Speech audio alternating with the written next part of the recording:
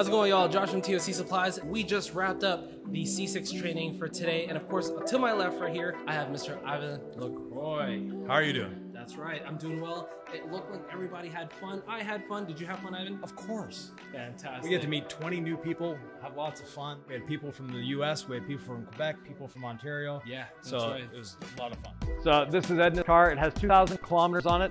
Washed it, decontaminated it, and got it ready for polishing. Recently founded DIY and C6 Ceramics. The goal behind DIY and C6 was to bring what Sylvie and I developed in our detailing shops to the general public. All the products, tools, techniques that you see on the DIY videos, basically you're getting the training that we gave to our franchisees and our employees. The adhesion promoter polish, those of you that want to get your hands on it and give it a try, we'll do that. I'll start it on the hood and then we can go around as a team. If you want to try it, great. If you don't want to, don't have to, but pay attention, please. Now, those of you that have been following me a while, I've been telling you, never use a dry pad. Always clean your pad and always wipe it off with a damp towel.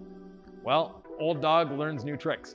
Also very important is the tool that we're using. Again, those of you that have been following me know that I like to finish with a rotary. This is not a rotary, it's a DA. For the initial application, I'm putting four small drops. And you'll notice my drops aren't in a line on the outside of the pad.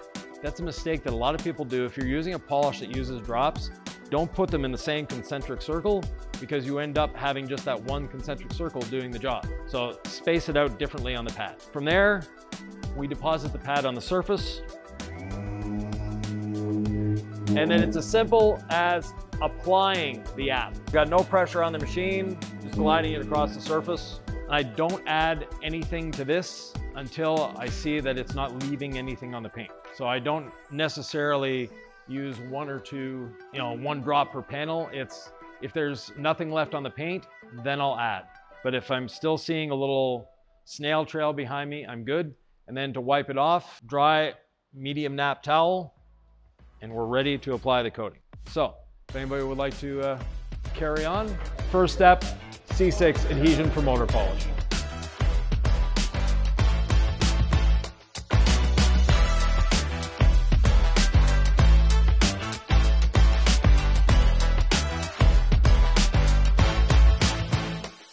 Application. We're gonna be putting diamond on this one. What you get in the box is you get an applicator.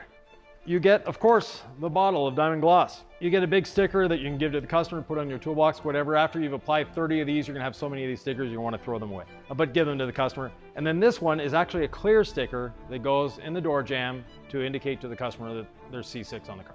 Now, we also on the professional ones have this card you give to the customer. Nice gold card that you can inscribe their name. We don't want a thick layer of coating. Thick is not a good idea in coatings. So I'm gonna spread that out as far as I can. I'm gonna get at least half the, half the hood.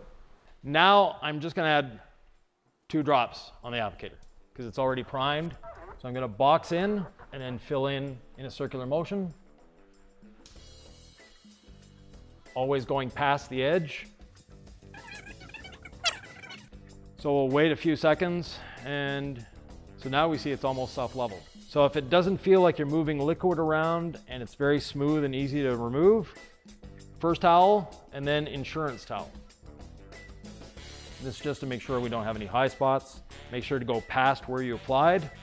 And you can do circles, squares, triangles, octagons, whatever geometric shape. Over the next week, it'll get glossier and glossier and glossier. Next.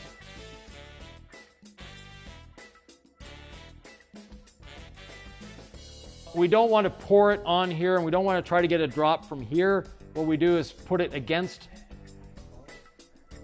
and that's it. Our applicator gets what it needs, the bottle stays dry. Who's next? Drop this on the floor, just so you know, it has, we have this magical trick that we can actually flip it inside out and then use the other side.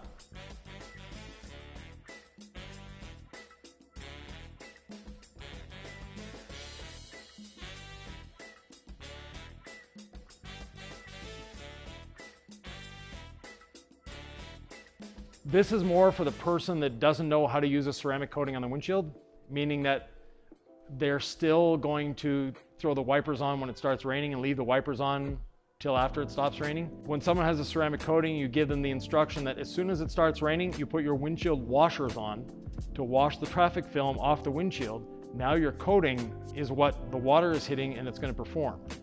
But if you don't use the windshield washer fluid and you just let the wipers go over that oily surface, you're never going to get the, the durability and also the performance out of the coating that you're expecting. Do you ever drive this in the rain? Yes. Okay. So is this your daily driver or pretty much? Okay.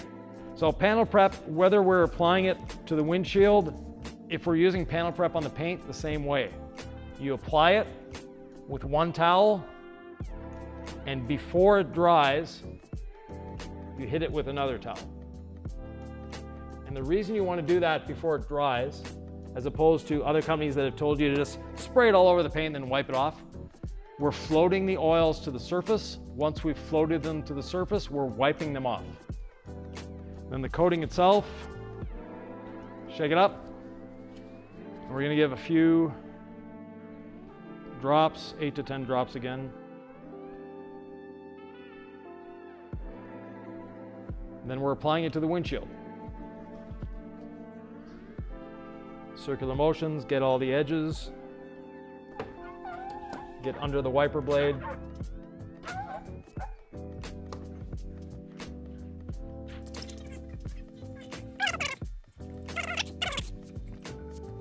Okay, so we'll let that cure. So it's at least 10 minutes, and then we just wipe it off with a towel and good to go. One hour before it gets wet. So for the glass coating, if it comes off like a wax that's dusting, you're good. If you if it feels like you're having to or you're moving liquid around or it's feeling a little greasy, stop. There we go. Yeah.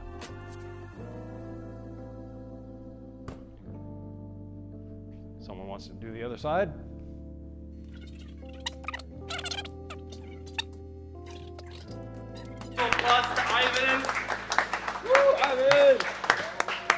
All of you for coming. Thank you for allowing us to use your space here at Kodawari Collective for the C6 training. You are now a certified C6 installer. And uh, I just got a few questions to ask you, of course. Um, what was your main favorite part of training? Really, just learning everything from Yvan. You know, he is such a, a great communicator, mm-hmm. um, and he's able to really simplify things, and um, and that just makes learning a lot more fun. Yeah. Right. Uh, always encouraging, asking questions, and uh, yeah, that's that's what I enjoyed the most. Awesome. It looks like you had fun too, man. Um, what was the main takeaway that you got from the training that you were that you probably told yourself, "Hmm, I this is the first time I learned this, and not anywhere else, but but from Yvan." Yeah, I think it was probably the promoter, the the oh, the adhesion, the, yeah. the adhesion promoter that Yeah. we're that we're polishing onto the car, and applying it with the waffle weave and that specific uh, rotation that the the polisher that we used, Yeah. right? So that, that that was probably the main thing that I learned that was new. What was the main attraction for C6? Uh, to be honest, the C6 probably because of just my introduction to Yvan, right? Um, I I've learned so much from watching his content and just seeing how he's kind of helping educate and push the industry forward. So like whenever he's associated with something, then I'm gonna kind of be interested and let my curiosity kind of take me to, to learning more. We got to work on his NSX, by the way, if you guys can see that. But uh, now, thank you again. Um, we had fun here at Kodawari. All right, so Mohammed, you came from Jersey. Thanks for coming to Canada. You just finished your C6 training, and of course, you are now a certified installer. What was your favorite part of training? the simpleness of how Yvan explains everything. With C6 ceramics, I've put on a lot of ceramic coatings, but the ceramic coating from C6, let me tell you, is different. Now, what did you learn uh, during training? Anything that you learned specifically that you did not learn anywhere else? Yeah, so the way he put on the coating for us, he left some uh, high spots for us to see. He also showed us how to put it on trim, how to circular motion is always better than everything else, and why it is, and other stuff like that, small, simple stuff that I ain't gonna tell you unless you come to the training. Oh, that's right. You got to come to the next one. Why did you choose C6 as your main ceramic coating? Oh, many, many reasons. So the reason I did is because Yvan and C6, they're all about saving the customer money and saving the detailer time and being efficient. So everything is just simple. So with that being said as well, I've got to ask because you've got a lineup of C6 products. Yeah. Which one's your favorite coating? Ooh, that's like asking a parent what's their favorite kid. Yeah, Come on. that's right. No, they, That's right. But you do have a favorite kid. No, I was kidding. No, no. No, I have two. Uh, no, they, they each have their use, Yes. and the use case for C6 Hydro is the daily driver. That is the car that is going to be not parked in a garage. It's going to be driven to work every day. Mm-hmm. Yeah. It gets rained on. It gets snowed on. You might occasionally accidentally go through a car wash. Yeah. That's C6 Hydro. Super hydrophobic, less necessary to wash it because it's Yeah. almost self-cleaning. Then we have Diamond Gloss, what we put on the venue. That is the you know the the pride of your the pride and joy of your Yeah. fleet of vehicles. That's the one that you want to just look at and Yeah. stare at and stare into because the paint is so deep. Like almost like show car status. Yeah, exactly, yeah.